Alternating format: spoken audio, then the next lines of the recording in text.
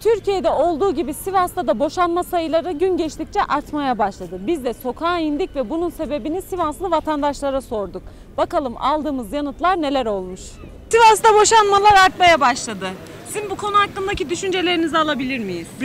Yani bence saygıyla sevginin bittiği yerde hiçbir şey olmaz. Güzelliği bulduk yani onun için sabır sabır sabır diyorum. Bir de şimdiki gençlerin anneleri babaları çok arkalarına düşüyorlar. Arkadaşım yani bu kadar şey yapmayın. Bırakın birazcık onlar da o sıkıntıları çeksinler ya. Bir işe giriyorsanız yani yavaş adımlarla gidin. Birden her şey olarak olmasın yani. Ben 50 senedeki 3 kere boşandım. Anlaşmazsızlık. 8 senedir de yalnızım. Ama adamı ne sordunuz? Bir daha da evleneceğim. Size düğünü davet edeyim. Biraz hanımlar kendi rahatlıklarını istiyor. Erkeklerin sözüne gitmiyor o yüzden.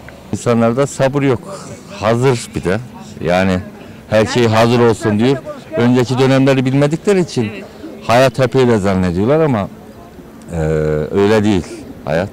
Biraz mücadele vermek lazım her iki tarafta da. Valla bu televizyon dizileri e, ne bileyim insanların yaşayış şekli çok farklı. Bunun düzeltilmesi lazım. Abla hepsi kadınlar inatçı. Şey demiyorum da harbi kadınlar inatçı. Abla bazı erkekler de sorunlu bazı kadınlar da hani o değişik ortaya karışık. Boşanmalar arttı. Neden? Türkiye'de zaten uygulanan e, ahlaki programlar, eğitim programları maalesef e, insanları evlilikte dışı davranışlara sevk ettiği için artıyor. Çünkü neden? Yaşantılar baktığımızda e, bakıyorsunuz ki neler olmuş? E, bütün aile içi, aile dışı, işte ondan sonra e, şeyde uygulanan programlar, diziler, filmler hepsi daha önceden bizim gençliğimizde bunlar aileyi birleştirmek için bu diziler oluştu. Şimdi ise aile olayını ortadan kaldırmak için, aileyi ayrıştırmak için dizileri, filmleri empoze ediliyor halka. E, bu şekilde olunca da maalesef e, ortaya bu durum çıkıyor. E, karşıda ve de bazı programlar anlanabilir miyim? Mesela Müge Anlı gibi işte böyle programlarda buna bence ön ayak oluyor. Ne yapıyorlar? Aa ben de yapabilirim. Ben niye yapmayayım ki? Benim neyim eksik? Ben de aldatabilirim. İşte ondan sonra ben de falanca işler yaparım. Bu tamamen insanlar üzerinde artık alıştırıldı. Yani insanlar buna normal rutin bir davranış gibi bakmaya başladı. Ahlaki değerler yok edildi. Ahlaki değerlerin yok edilmesine sebep olan da maalesef ki hükümetin uygulamış olduğu programlar ve, ve bir takım yasalar. E, ta detayına inmek istemiyorum. İnsanımızın kalitesinin düşüklüğü de buna yol açıyor. Karılar mahlaksız, erkekler mahlaksız. Karılar, karılar. Karılar mı? Tabii. Niye? Kocalarını dinlemiyorlar. Adamlar çalışıp kazanıp getiriyor. Bırakıp bırakıp gidiyorlar. Karılarda yok mu suç? Ben mi? 45 senelik. Seviyor musun eşini? Au. Nasıl duvar ben? Yine de severim. ya. Eşiğinden dışarı çıkmam ben. Piyom kocam. Neden boşanmalar çoğaldı? Vallahi bilmiyorum yavrum. Bilmiyorum şimdi. Ortak kötü şimdi. Öncekiler gibi Şey değil. Önce nasıldı? Önce çok güzeldi. Yaşamlarımız güzeldi. Hayat güzeldi. Şimdi dayanmıyorlar. Dayanma gücü yok. Bir iki sevmesen durmam beraber herhalde. Buradan eşine neler söylemek istersin? Allah, Allah yolunu izini kendini sağlık sıhhat versin. Mutlu mesut etsin beraber inşallah. Hayırlı uzun ömürler versin. Neden? Kıyametin alameti işte. Sırf Nedeni var mı? Evet bu yüzden. Kim büyük tabii küçük tanımıyor. Küçük büyüğü tanımıyor. Ana babayı bilmiyor. Evladı bilmiyor. Sivas'ta boşanmalar çoğalmış. Evet, Sizce o- neden? Bizler gibi çekmiyorlar ya ne diyeyim ben. Çekmiyorlar bizler Siz kaç gibi. yıldır evlisiniz? 50 50 yıl oldu.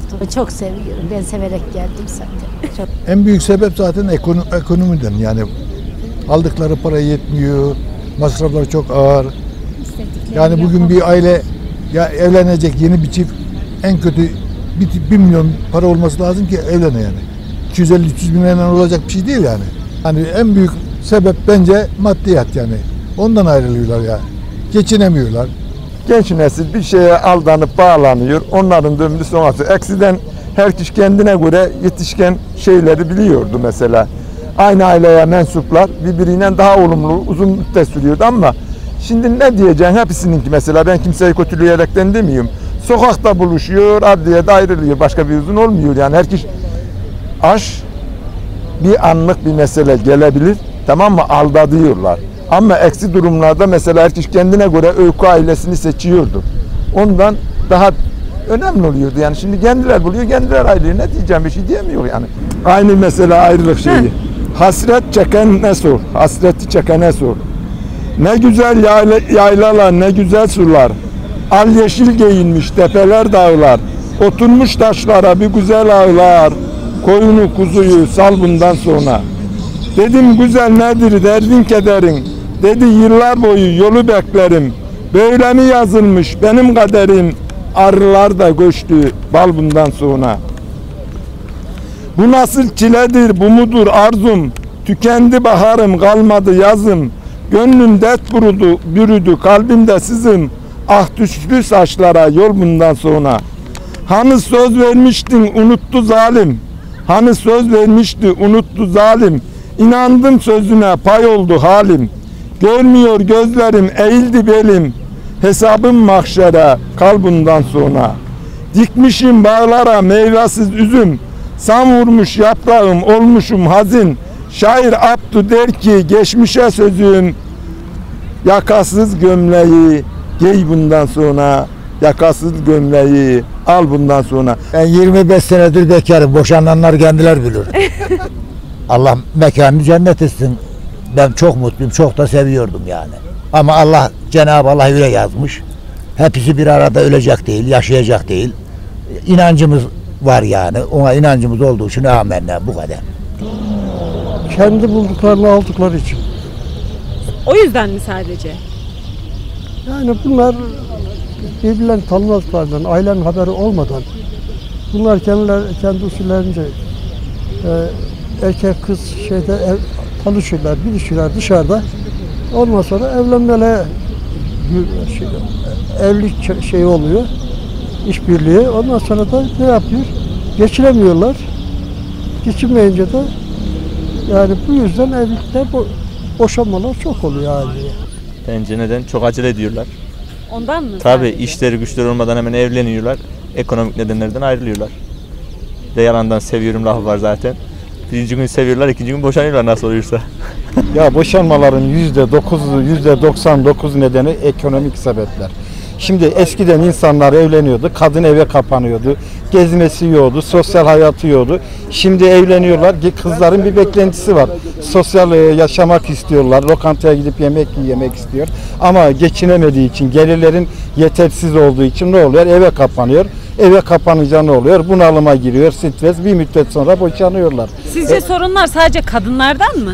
Ya sorunlar yani tabii ki kadınlardan değil genelde iki taraflıdır ama en büyük nedenleri ekonomik neden. Çünkü eskisi gibi görücü usulüyle evlenmiyorlar. En az bir kız evlenmeden önce iki sene görüşüyor. Beraber geziyorlar, tozuyorlar. Birbirlerini gayet iyi tanıyor, anlı- anlı- anlıyorlar. Ama evlendikten sonra 2-3 ay artık cicimayı geçiyor tabiri caizse ekonomik nedenler sıkıştırmaya başladığında iş bitiyor. E, Sivas'ta bir gün asker herkes asker ücretiyle çalışıyor. 17 bin lira maaş alıyor, 10 bin lira ev kirası veriyor. E, bu insan ne yapacak? Bir yerde patlak veriyor. Sonuç boşanma, yuvanın dağılması. Benim gördüğüm bu çevremde tanıdık bildiklerimde. Tekrar dünyaya gelsem, tekrar eşimle gene aynı evlenmek isterim. Çünkü niye biliyor musun? Varlığına da katlanıyor, yokluğuna da katlanıyor, şükrediyor. İşte neden zor? Neden zor biliyor musunuz abla? Eskiden mesela insanlar yokluğu falan bilirdi. Şimdiki insanları görüyoruz. Bir kıza yani bir gün yemek yemesin bırakır gider. E, boşanma Türkiye genelinde arttı. Evet.